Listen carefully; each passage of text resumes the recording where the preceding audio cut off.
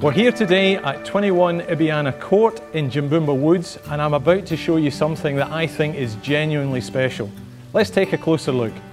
Our owners have been working through their plan with a keen eye for detail and an emphasis on quality and I think it shows. However, the plans have changed so you could now benefit from all their hard work. Inside you'll find high ceilings with extensive custom box cornice work flowing through the large living areas. You'll find a spacious and comfortable lounge with combustion heater which is open plan to the family, dining and kitchen areas where you'll find a corner pantry, the control of gas cooking and a generous fridge space.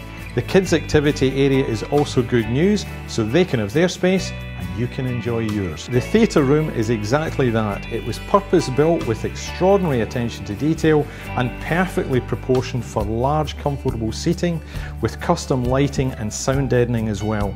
The double door entry to the master bedroom says it all. It's a very spacious room with a large fully fitted walk-in robe and well appointed ensuite as you might expect, while the other bedrooms are also similarly spacious with huge built-in robes. Bedroom 2 has a four door built-in robe while bedrooms 3 and 4 each have a triple built-in, so big rooms with big robes and a dedicated study as well.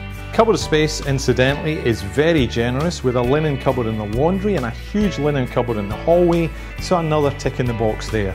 Moving outside, the entertainment area would have to be one of the best, with the sparkling in-ground pool taking centre stage, flanked by the large covered dining area on one side and the built-in barbecue and bar area on the other, providing a very comfortable, spacious and private area for family and friends alike to kick back and relax. It even has this water feature with stepping stones, which I just love.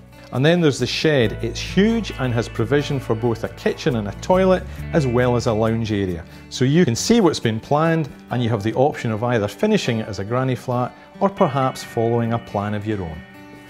So there you go, that concludes our inspection here at 21 Ibyana Court in Jimboomba Woods. You name it, it's here and you should be too. My name's Steve Hodson from Elders. Thanks for watching.